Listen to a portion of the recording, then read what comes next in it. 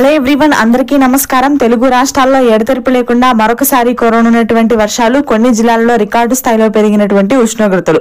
వివరాల్లోకి వెళ్దాం ఏ జిల్లాల్లో వర్షాలు పడతాయి వాతావరణ పరిస్థితులు ఏంటో తెలుసుకునే ముందు మీరు ఇంకా మన ఛానల్ కనుక సబ్స్క్రైబ్ చేయలేదా అయితే వెంటనే సబ్స్క్రైబ్ చేయండి. అలాగే పక్కనే ఉన్న బెల్ ఐకాన్ని కూడా క్లిక్ చేసేయండి. లేట్ చేయకుండా వివరాల్లోకి కనుక వెళ్ళినట్లయితే ప్రస్తుతానికి తెలుగు రాష్ట్రాల్లో చాలా ప్రాంతాల్లో నలభై డిగ్రీల ఉష్ణోగ్రతలు నమోదవుతున్నాయి.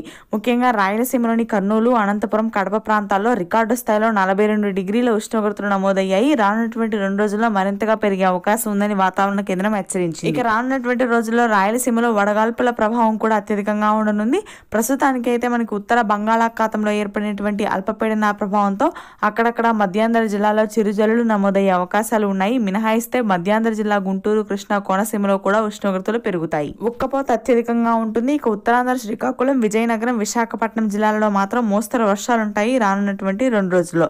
ఇక తెలంగాణ వ్యాప్తంగా ఉత్తర తెలంగాణలో వర్షాలు దక్షిణ తెలంగాణలో పొడి వాతావరణం. జిల్లాల వారీగా చూసుకున్నట్లయితే ఆదిలాబాద్ నిజామాబాద్ ఖమ్మం భద్రాద్రి కొత్తగూడెం మేడ్చల్ మంచిర్యాల రాజన్న సిరిసిల్ల ప్రాంతాల్లో ఈ రోజు రాత్రికి అక్కడక్కడ చిరుజల్లు మోస్తరు వర్షాలు నమోదయ్యే అవకాశాలు ఉండగా దక్షిణ తెలంగాణ మహబూబ్ నగర్ గద్వాల్ కరీంనగర్ వరంగల్ వనపర్తి వికారాబాద్ జిల్లాలో మాత్రం పూర్తి స్థాయిలో ఉష్ణోగ్రతలు పెరుగుతాయి. ఇది ప్రస్తుతానికి ఉన్న weather update thanks for watching this video